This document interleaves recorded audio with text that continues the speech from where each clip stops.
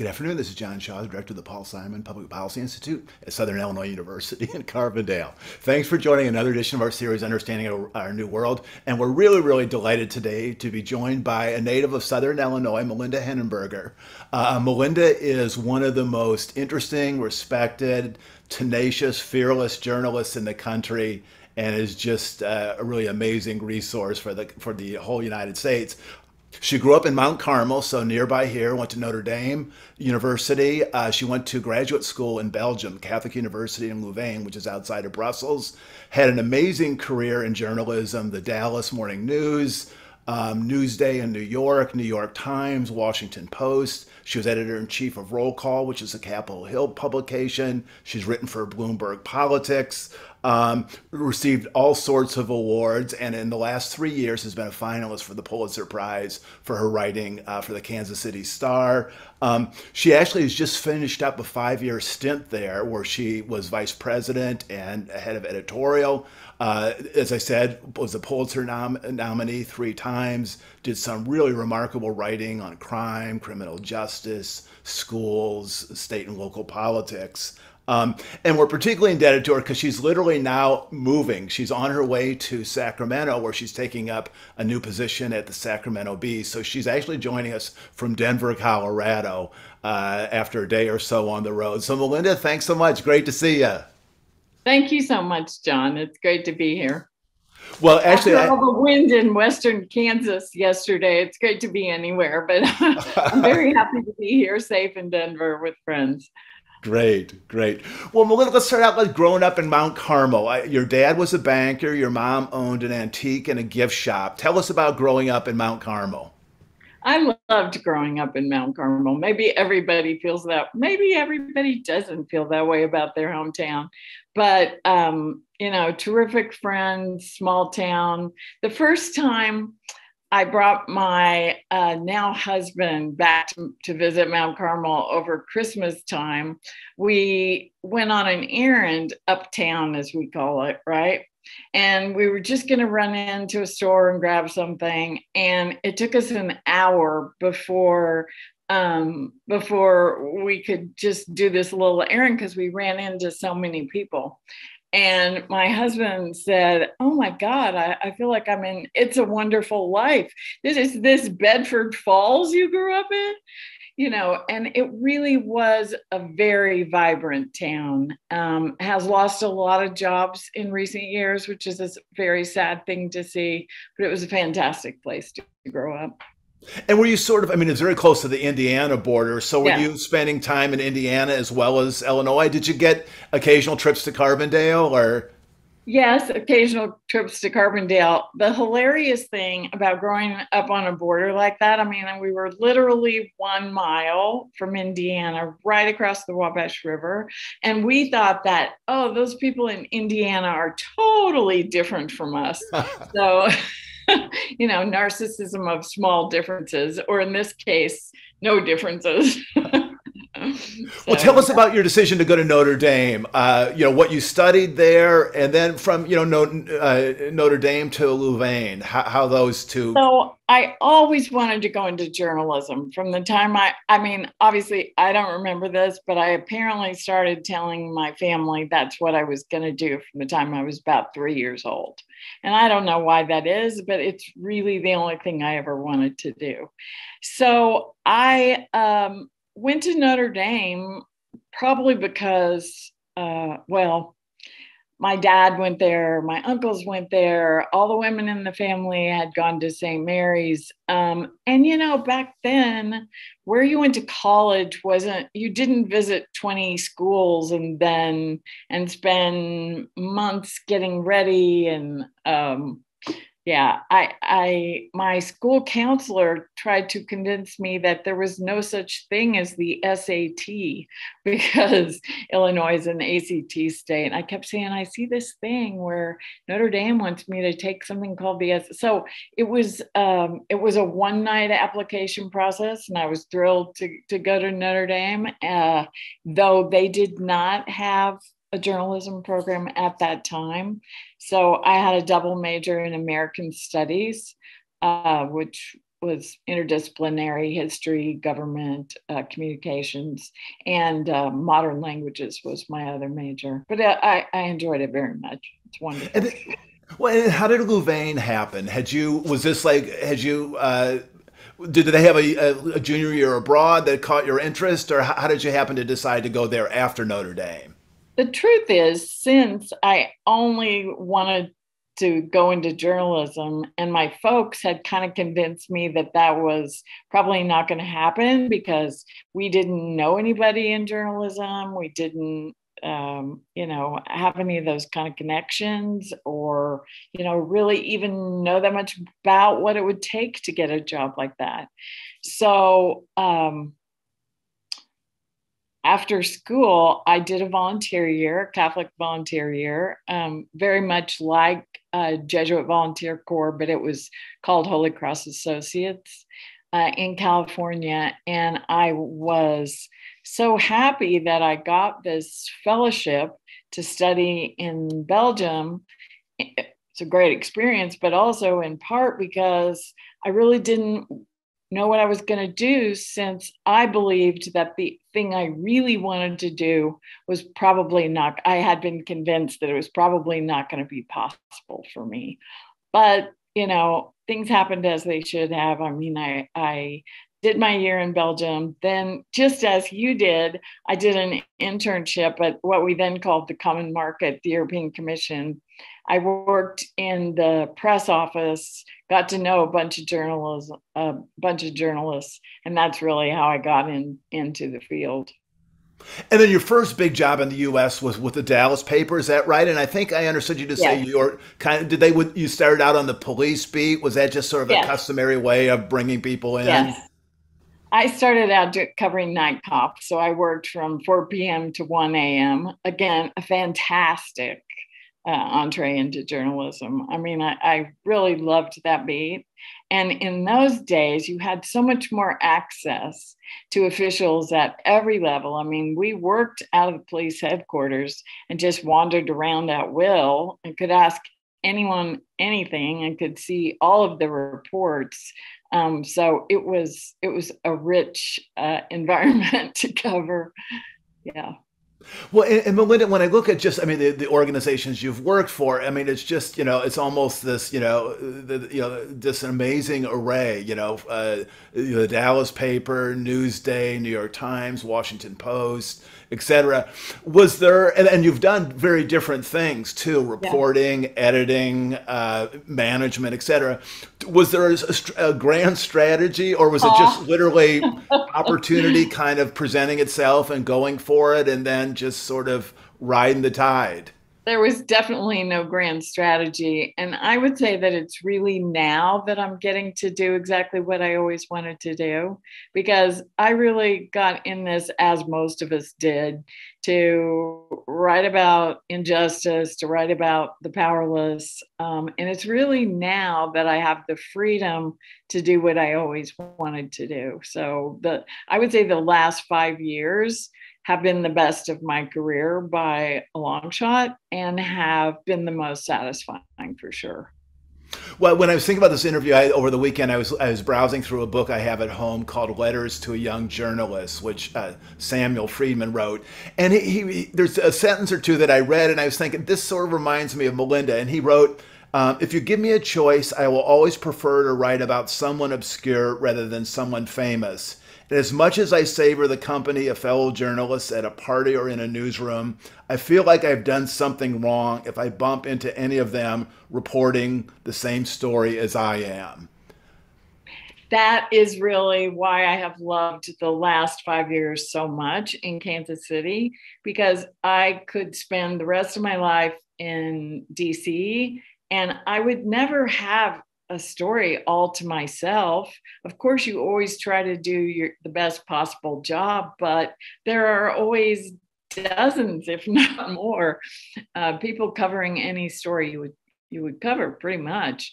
And in Kansas City, it's really not been like that. There are um, there are just issues that and stories that just wouldn't be covered if you didn't do it. That's not true only for me, but I think that's true for a lot of us. And how satisfying is that, right? Um, and I so agree on how much more satisfying it is to bring light to a situation rather than to to write more about people who've already, if anything, been overcovered. Yeah. I came across in that same book uh, uh the Nicholas Lemann quote that I'd seen before, but I'd, he reminded me of it. And in which Lemann, he was a, a, journalist who became a dean of a journalism. right. Said it often seems to me that at any given moment, 99% of the journalists are covering 1% of what's happening in the world. I know in my own experience as a DC reporter, um, you know, covering Capitol Hill, uh, you know, whatever the story of the day was, there were just, you know, dozens of reporters, you know, mm-hmm. covering it. I, I had thoughts like, man, is this the best way to use our time and energy and resources? especially resources is the key word, especially at a time when there are so many fewer resources in the business. I think it's fantastic to be in local. It's a great time to be in local news because it's never been more necessary that we do this work. And there really are many fewer people doing it. I saw a story recently that isn't really surprising, but I, I hadn't heard this fact that journalism has lost more workers than the coal mining industry since the year 2000. Wow. Yeah. Well, I want to come back to the Kansas City Star in just a second, but before I do, I want to. I, I re- happened to read some of your uh, some of your articles when you were in Rome. You were the New York Times oh, okay. bureau chief, and I came across some articles you wrote in 2002 um, uh, covering the, the the clergy abuse scandal was just exploding across the country, uh, across the world, actually. And but there was a couple press conferences that the American Cardinals had in Rome, and your articles were so wonderful because it kind of reminded me how sometimes by just letting people talk and and reporting their words you don't really need to say a whole lot more. I mean, whether it's by what they say or just their evasions. And I, I just want to, one of them was a, a great moment where Cardinal Law from Boston was kind of at the mm-hmm. epicenter of this crisis. And um, there was a big discussion about whether he was going to be forced to resign or the, the, the American Cardinals would pressure him. And then you quote Cardinal McCarrick from DC say, We've passed that point in the discussions. The time for that would have been at the beginning. We're over that. As if you know it just because they the moment in the in the internal conversation passed the issue was taken care of. That was a issue for me to cover as a catholic. It was very discouraging. Um, as a journalist it was super interesting and as a catholic hard and one of the hardest things was years later when we learned that this same then Cardinal Ted McCarrick, um, who seemed to so many of us at the time to get it and to realize that the church had to change, uh, could not have been um, more criminally involved himself. Yeah. Right. So, and there was another another piece where you uh, there'd been like this uh, a, a, press conference scheduled had been delayed for two and a half hours or so. And then when they came out they released this very very terse bare bones statement and when you know pressed to explain why it took them two and a half hours to say nothing. Uh, it was i think it was bishop gregory who said bishops like to wordsmith. There is a desire to say things carefully yeah. And I knew of Bishop uh, Gregory because he had been the Bishop of Belleville, which was my diocese growing up in Southern Illinois. You know, though Belleville is obviously on the other side of the state from where I was. Um, so yeah. Well, I mean, two of the people that you covered up close was, um, you know, Pope John Paul II. It was in the latter years of his papacy, and also Cardinal Ratzinger, who was then a senior Vatican official who became uh, Pope Benedict. Uh, right. you won't linger on famous people, but could you say a little bit about covering John Paul II near the end of his life, and then also Ratzinger as um, a prominent uh, uh Vatican official? I'm really sorry that I covered John Paul at the end of his papacy because he was so compromised at that time, right? I mean, I don't really think, and I wrote this, that he was running the Vatican at all. I think, I mean, he could not communicate, and I'm not sure it was not John Paul. And, uh, you know, a lot of people think it, it was his Secretary of State and some of his aides, but you would have his you know his biographer and, and some others who wanted to give the misimpression that he was a lot um, a lot more vigorous than was the case. They'd say, Oh, at dinner last night, he had us all in stitches, so funny, so on top of everything, you know. And uh, obviously, none of this was true because by that point, I mean, the thing he did that that was beautiful was um, teach people how to die. I mean, he, I think, gave great witness on that front on um, on suffering, on um, not hiding himself away, on being more himself. He was more upfront than any other pope had been about about getting sick. Um, uh, even though his his supporters were not as forthcoming. So, um, as for Benedict, I mean, he had a greater impact on the final years of John Paul's papacy, you know, through his work um, as the, uh, the, the Pope's theologian, you know, and he really is a theologian. And so um, was not the care everybody knows this was not the charismatic figure that John Paul was. I think he did a beautiful thing by stepping down, which of course hadn't happened in many centuries.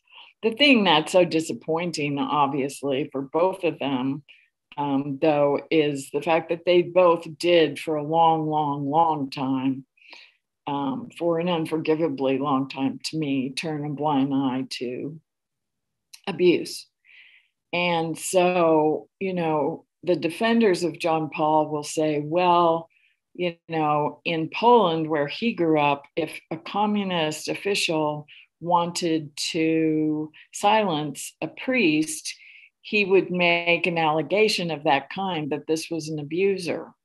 And so they would say that for that reason, John Paul never credited these allegations. But when you see the, the, the detail of the allegations, the number of the allegations over years and years and years, it's pretty, it's pretty hard to say that he did not know what was going on. Right. So, yeah. Melinda, let's talk about uh, your work in Kansas City. And first of all, let's tell us, I mean, talk a little bit about you moving to Kansas City. You'd been in DC for 20 years. When you moved to town, how do you go about um, insinuating yourself into a community and begin to sort of feel like you know enough to start digging in and, and, uh, and writing amazing columns? How did you start? Well, when I first start, I mean, I, ended up writing a very different kind of column than I began with, right? Obviously, because um, you never want to pretend to know more than you know. That's the worst thing you can do. So in the beginning, I covered a lot. I it was more observational. It was since I didn't know a lot of people, I would go cover a hearing, a trial, a hearing. I would go uh, cover a Lincoln Day dinner. I would I would cover a lot, write columns off events, and that way I got to know people and to know what was going on. And it was a, a great entree. Uh, after you know, as time went on, I would say I did more I definitely concentrated mostly on the criminal justice system in the final years there and on really injustices that had been done, especially in Kansas City, Kansas. Right. Well, Melinda, I, I, want to go through just a couple of the articles that really, really uh, I found powerful. I mean, you know, as you say, you, you delved into the criminal justice system, and and much of that you found was infuriating, um, heartbreaking, you know, just powerful beyond belief. There's a woman that you write about, Tabitha Birdsong, who right. um, had been um, effectively harassed, pursued for almost a decade by her estranged husband. She called the police repeatedly, three or four times a week. Um, mm. They, you know, modestly responded. Ultimately, he killed her. And then in your your column, I mean, you trace her life, but then you you talk to an inspector and said, you know, uh, I think it was D- Detective Risen saying, you know, couldn't you have done more? And his kind of response was, well, victims need to protect themselves. I mean, you talk about that, that. Killed me, him saying victims need. This is the guy who took calls from her three, four times a week. She was absolutely doing everything. After she died, I saw these detailed notebooks she kept about every contact, and she was trying to do everything. She did everything right. She tried so hard. She would she would leave and go to different states, and he would find her and she i can't see what more she possibly could have done so it said something not just about this guy but about the system and about our attitudes to say well you know victims uh, in the end are responsible for their own safety you know you, you gotta they have to do something to help themselves and you concluded the article by saying, uh, or not didn't conclude it, but you, you, you, you had this passage domestic abuse isn't just a crime against one person, but can terrorize everyone in that person's world. And your article gave just a really profound sense of just how the people who were in her orbit, you know, were also terrorized by this guy. And uh, that case still has not gone to trial and her family is still reeling from all of that trauma, of course. And it's still rippling through her community. So, so yeah, it, it is a, a lot deeper than we always, than we think. Well, a, a, a, more uplifting story was a woman by the name of Nastasia Hodge who had been right. released uh, she had spent 13 years in prison. She was uh, convicted, or she confessed to killing the person who had been pursuing her. Abuser, her. right? Her yeah. abuser.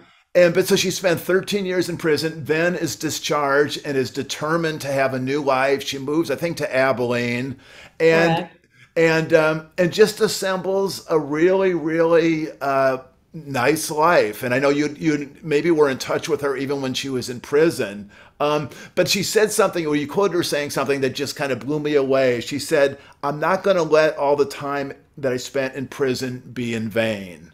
As she launched her new life, talk about her. I just talked to Natasha yesterday on my way here on my drive, um, and I talked to her a lot. She's a fantastic person. She's someone who really never had a life, really had been abused as a kid. In fleeing that abuse, she, you know, went on, ended up on the street, as so often happens. I mean, most of the people who end up in the situation she ended up in were fleeing abuse to begin with. That's a very common scenario. So she ends up working as prostitute and uh, involved with a, a crack um, addict um, who she um, eventually killed and believed that, you know, based on the number of times he had attacked her, that she would have been killed if she didn't do that. But so she finally gets out and the stuff she was doing when she first got out, I went to her apartment the first week she was out in Abilene. First of all, it's so brave that she moved to Abilene rather than back to Kansas City, Kansas, where there would have been a lot more um, temptation, or not even temptation, but it would have been so easy for her to, you know, to get back into being around people who were not good for her. So she decided to go to work for this candy factory that had been her prison job, Russell Stover, in Abilene, where she knew nobody. She did not know how to drive. She got a used car, learned to drive to get herself around. And she said, I feel like a toddler out here. You know, she's learning to do all these things. One of her first preoccupations was, oh gosh, I got to get my taxes filed because they tell me I owe taxes. I'm like, oh my gosh, you just got out of prison and you want to you know, she wanted to have a root canal and pay her taxes. I'm like, boy, Natasha, you really know how to have fun.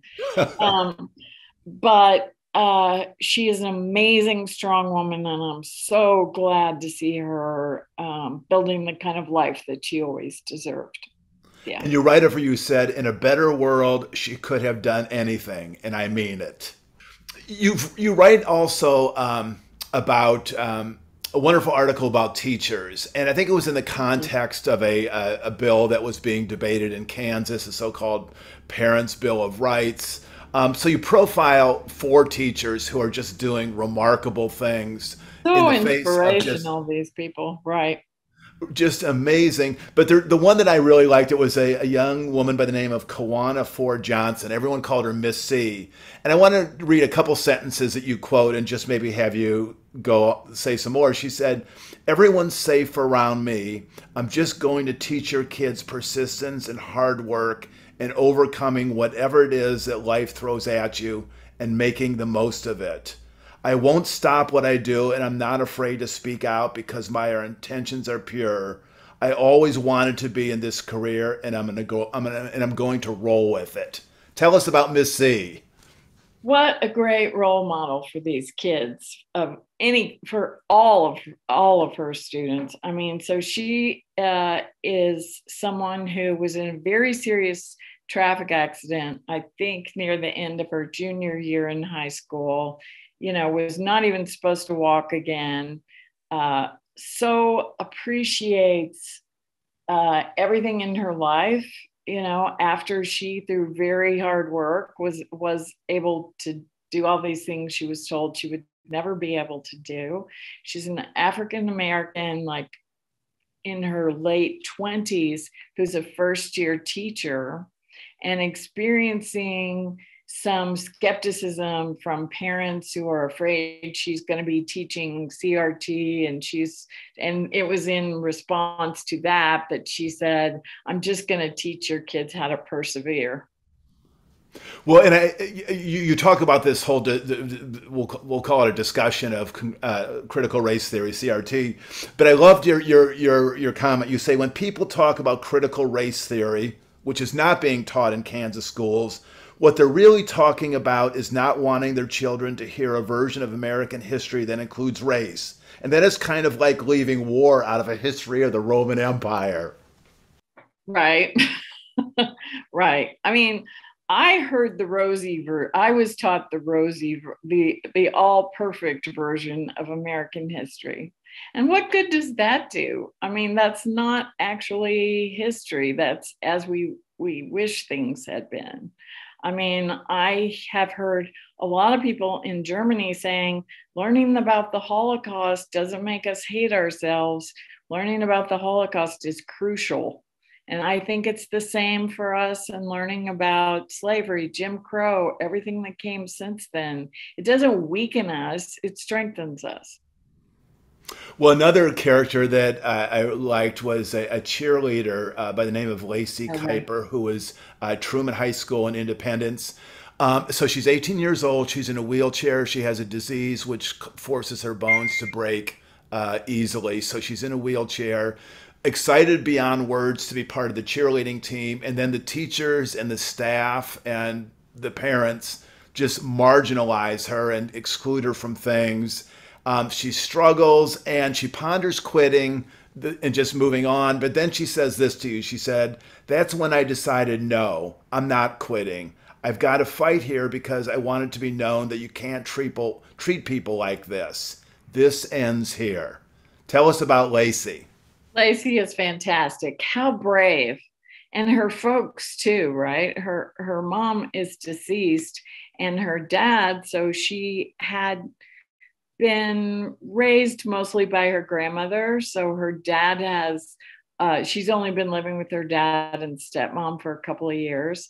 What it takes for them to do everything they do, to have to think, well, how am I going to get all this equipment? You know, it, it's even transportation is a huge uh, challenge and they have their family has felt so unsupported and also so much pride in Laci for saying, you know, no, I will not be treated like this and I don't want to see anybody else treated like this.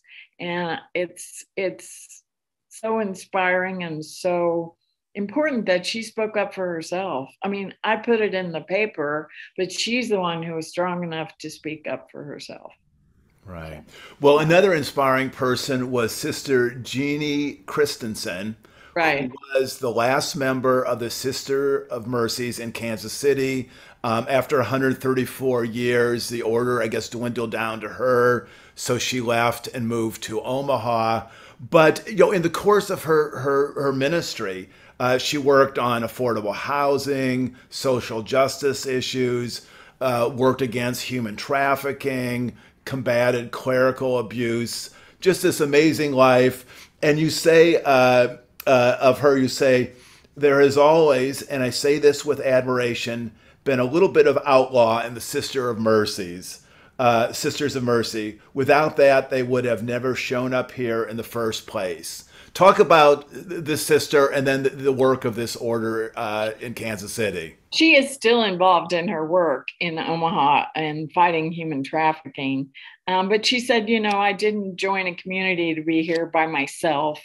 So I very much understand why she wanted to go back to Omaha. But what she accomplished, what it, what one woman can and did accomplish was really something and her one of her last acts in Kansas City, she and a friend reclaimed an old statue of the Virgin Mary from their original convent in Kansas City and put it in the VW. And she says it's on my balcony now in Omaha.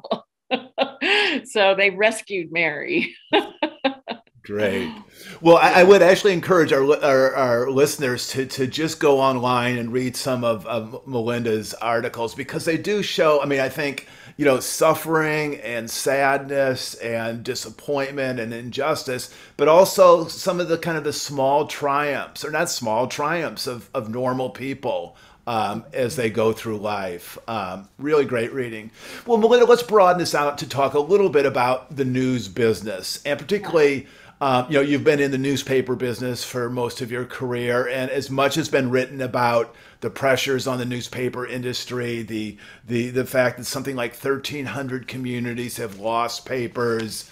Um, talk about the bigger picture of, of of the role of newspapers and the pressures on them.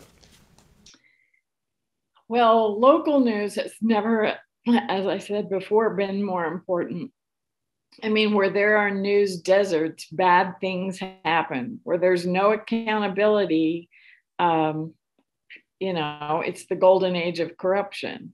What's, I think, most demoralizing for people in my business is not even the new pressures and it's not how understaffed we are and that we're expected to do more. All of that we're willing to do. The hard part is really um, to hear that what we write um, isn't true.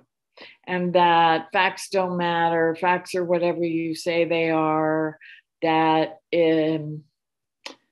it's it's really hearing from people who are smart and well intentioned that they don't believe you. Because a different kind of news source, or I shouldn't even say news source, a different outlet has told them that they can believe what they want to believe, and that's that's the truth. And that is the challenge of our time. I mean, more so than the money. Yes, the, the business model is broken and we don't know how to fix it. That's the truth so far. But the, to me, the bigger challenge, even than that, is the whole um, misinformation, disinformation, fake news, the decades that have been spent convincing people that we're not in this for the right reasons, that we're um, instruments of, of fake news. Right. That's the hard part. And I, I, the only thing we can do about that is to keep working hard and doing what we're doing. And there are, of course, also many people who appreciate what we do. I mean, leaving the star, I've gotten so many amazing, kind, uh, supportive letters from readers. It's really been something. Right.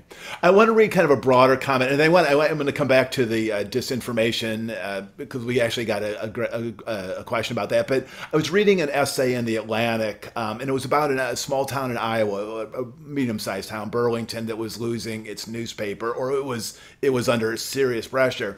And I want to read a couple sentences to just maybe kind of get at the, at the power and the importance of of, of news in, in small towns. And, and the author writes when people lament the decline of small newspapers, they tend to emphasize the important stories that will go uncovered political corruption, school board scandals, zoning board hearings, policemen misconduct. They are right to worry about that. But often overlooked are the more quotidian stories, the ones that disappear first when a paper loses resources. Stories about the annual teddy bear picnic at Crapo Park, the town hall meeting about the new swimming pool design and the tractor games during Denmark Heritage Days. These stories are the connective tissue of a community. They introduce people to their neighbors and they encourage readers to listen and empathize with one another. When that tissue dis- disintegrates, something vital rots away. We don't often stop to ponder the way that a newspaper's collapse makes people feel less connected, more alone. As local news crumbles, so does our tether to each other.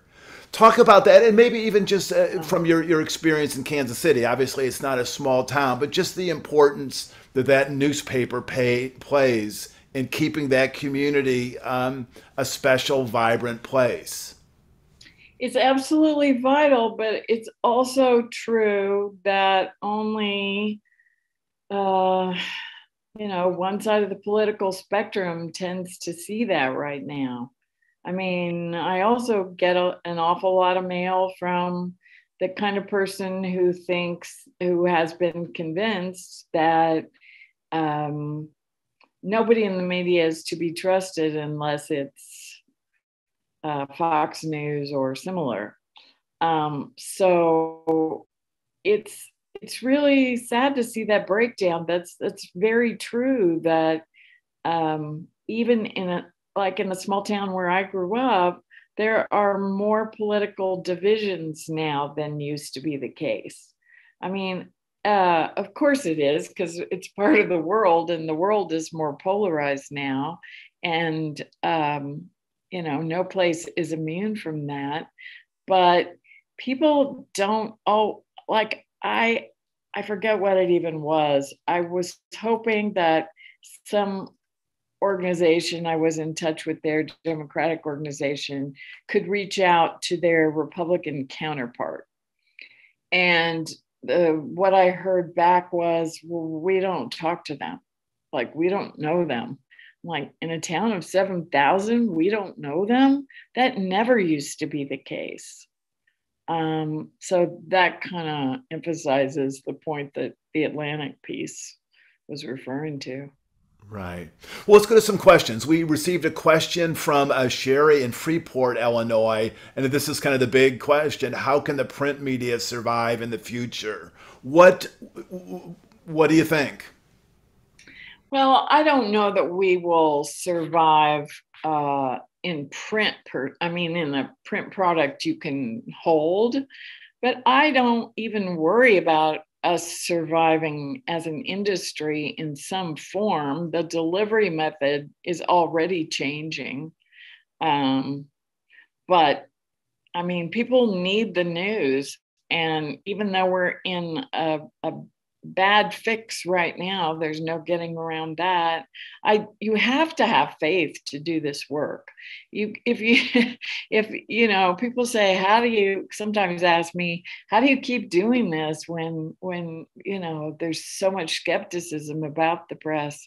And i say well i believe this. This is a religion to me what else would I do with my life? I mean, I I don't I don't see the alternative. So, but I I also really do have faith that the news will always um, will always be needed and will always um, God willing, be available. Deborah from Oak Park, Illinois says, What can we do to combat disinformation? So I know that you referred to that earlier. Uh, I mean, apart from individual journalists just being utterly rigorous in their work, um, I, guess maybe more broadly, when did things turn? When did this whole uh, this whole genre of you know uh, fake news, etc. I mean, obviously it was intensified, to put it mildly, during the Trump presidency. But when did it when did it begin, and what can be done? I guess what her question is. I mean, it's been decades in the making. I mean, you know, an enemy of the people was certainly a new one for us in this country, anyway. But um, I mean, it it has been a well funded industry to turn the public against us. Not to say we don't make mistakes, of course, we make them all the time. But it, it didn't happen out of nowhere. It happened because uh, a lot of money was spent on making sure that it happened. So, what can ordinary people do? They honestly can support their local paper. I mean, it's great to have the, uh, a subscription to the New York Times and the Washington Post, wonderful publications, and I worked both places. But please support your local paper. I mean, that means everything because um, without that, I mean, it's not just the teddy bear picnic. You will not know the the what officials in your area are getting away with. And sometimes now, when we inform the public about what officials are up to, they don't want to hear it. Okay, but we're going to tell you anyway. And it is important to democracy that that work go on. Uh, you got a, a question slash fan note from Susan in Prairie View, Kansas, who said, Melinda is my hero. Says her relentless rep- pursuit of dirty Kansas City police officer Roger Golubski. Yeah, is cr- is crucial. Right. My question: What is the status of the civil case pending, and does that affect pri- does, does that private action affect or frustrate uh, the concurrent FBI investigation. So maybe if you could tell us a little bit about what the case was and where it stands. Uh, Roger Golubski is a former Kansas City, Kansas police detective who has been credibly accused of raping dozens of mostly Black, powerless Kansas City, Kansas women uh, the FBI uh, be- itself believes that he's responsible for at least one un- of their unsolved murders. Uh, in case after case, he, women he had been sexually involved with, and that's definitely a euphemism, uh, ended up dead. And he, then he, in some cases, investigated the murder, investigated, and not surprisingly, a lot of those cases were never solved. Um, the FBI, I mean, there is a grand jury investigation going on, but the FBI has been looking at this case on and off, this and related cases, on and off since the 80s. So I really have to ask is anybody that bad at their job? I mean, you really cannot not wonder whether it's a Whitey Bulger situation where there's some corruption because there have been ties. I'm not saying that's, I, I do not know that's the case, so I can't say that it is. But of course, you, you know, this has gone on and on and on. And at this point, so many women have come forward to tell their story to me and to others at great personal risk. And yet, nothing has been done. So I'm very eager to say the least to see some indictments there is a civil case involving Roger Golubski, who was the lead investigator into a double murder for which a man named Lamont McIntyre went to prison for 23 years. He did not commit these murders. Uh, Roger Golubski, the investigator, and the prosecutor, a woman named Terra Morehead, absolutely had to have known at the time that he was not involved uh, Lamont's mother, Rosie McIntyre, uh, is one of the many who has accused Roger Golubski of sexually assaulting her. Um, so then, is it was it a coincidence that after she refused to be part of uh, of this group of women who continued to be exploited by him, that he and his brothers were put in the photo lineup uh, for these murders, and that an eyewitness who knew it wasn't Roger Golubski was was coerced into I mean who knew it wasn't Lamont was coerced into saying otherwise. I mean she was so upset at being as she said later told me her name's Niko Quinn forced to lie on some on this man and put him in prison. She went home from court and tried to kill herself then she made it all right. But the pressure that woman, brave woman, was under was terrible. This situation is just so far beyond belief that if I had not reported it myself, I'm not sure I would believe such a thing possible in the United States of America. And it still goes on. And he's still walking around free collecting a public pension. As far as the civil case, that's going on trial in uh, going to trial in November. But that that's not the same as what I think is needed, which is not only indictments of not just Roger Golubski, but also those who enabled him, but a class action suit for his many victims, their many victims. When you get involved, you know, as a reporter in a case like this, I mean, it just seems like such a you know disturbing, immersive experience. I mean, yeah. can you compartmentalize and just go home at the end of the day and just kind of disengage, or is it just something Absolutely that just kind not. of gnaws at you for? I guess some people can do that. I never have been able to, but I should also say I've never been involved before in something quite this massive and upsetting.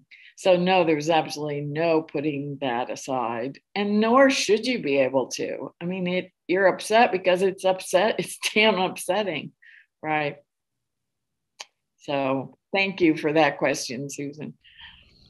Let's talk about just, uh, you know, for students out here who are thinking of, of careers in journalism, um, what would you say? What is the best part of the profession? What is the, the worst part? What is the most frustrating? How, what does the ledger look to you? Oh, I think it's the most fantastic work. It's it's very hard work in all ways. It can be physically demanding. It's definitely very emotionally demanding. I think um, only do it if you can't imagine doing something else because it's hard. But if you are that person, you're going to love it. I mean, it's all good. It really is because to have it's such a privilege to be able to tell people's stories. It's such a privilege to even try to get to make a difference. Um, I feel like the luckiest person I can think of to have gotten to do this for work because it honestly doesn't feel like work when you love it that much. And compare the, the experience between you know covering national politics. I mean, you, you did that obviously at a very very high level, international in Rome, versus um, you know working for local newspaper covering these sorts of cases. I mean, and I'm not trying to face you know erect a straw man. What are the kind of competing uh, you know intrigues about both of those realms? I'm glad I had all the experiences. I had even the ones that were um, more negative because you will learn so much from those. I mean, it's a cliche, but it's also true. I, I, as I said before, though, the what I'm doing locally means a lot more to me than what I ever did nationally or internationally. Because had I not been there, nothing would have been different nothing would have been appreciably different. And I really don't think that's the case in local news. Right. We just so, have so many more opportunities to, to try to make a difference. Right. Yeah. So when you arrive in Sacramento in a few days and you take up a position with the Sacramento Bee, how are you going to um, how are you going to start? How do you? Um, sorry to intrude with that question. I don't know. A friend of mine said, "What's your first column going to be?" I said, "Oh my gosh, I don't, I don't know yet." Um, so my, you know, I same. I my plan is to do the same as in Kansas City to start, you know, just jump in, covering people, covering events, you know, being more observational than investigative in the beginning when I don't have contacts. I certainly have a lot to learn, so it's important to go in with great humility. Um, and I'm looking forward to, I know I'll be writing a lot of, or I think I'll be writing a lot about the climate crisis, you know, where that's in, impossible to ignore right now in California. And I think that that's a story that uh, the rest of the country really does need to hear about. And tell us about the Sacramento Bee. I mean, it's a it's a newspaper I've heard about for many many years. It's kind of a fabled company, a, a company and newspaper. I mean, broadly in terms of its circulation, is it mostly a Sacramento, or does it have? I know it covers the state capital. Does it have pretty? It's uh, mostly. It is also like the Kansas City Star, a local paper. It uh, has it's our sister paper. It's one of the 30 McClatchy papers. Um, so, and I will be going to work there for the woman, Colleen Nelson, who brought me to Kansas City five years ago. She's now the executive editor of the Sacramento Bee. Great. And my husband will be working there too. Oh, good. Great. Yeah, that'll be fun. Perfect. Well, Melinda, I, I want to just say finally, when you and I, when I sent my first note to you and I identified myself as the director of the Paul Simon Public Policy Institute, you wrote back in about two minutes. You said you had me at Paul Simon. Tell me about uh, about Paul Simon and how. He Oh gosh, I don't even think it was two minutes. I'm like Paul Simon Institute. I'm in. Oh, I just thought Paul Simon was the one, and I still do think he was one of the greatest public servants of my lifetime. I was very disappointed he did not become president, but talk about a man who did so much good and who started as a small town newspaper guy. So great admiration for Senator Simon. Yeah, and one of his real breakthroughs was writing about corruption in the Illinois General yeah. Assembly, and uh, I think for Harper's, right. and uh, he was uh, you know started out at Troy, and then had eighteen or nineteen papers, and was just uh, crusading a journalist. And then went on after his political career was over to write, as you know, of course, you could tell me all about it, as many books. So, very admirable person. Great.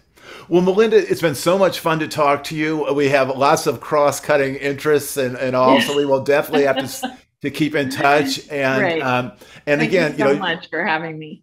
Yeah, I mean, breaking, you know, literally on the move, uh, pulling off in, in Denver, that uh, that earns you induction into the Institute's Hall of Fame. I'm honored. Thanks Thank so much. so much, John. Take we'll care. Stay in touch. Thank you. Okay. Thanks. Bye. Thank you for watching, and we'll have a video of this interview on our website tomorrow. Show it to family and friends, and help us keep the, the memory of Paul Simon alive and well. Thanks so much.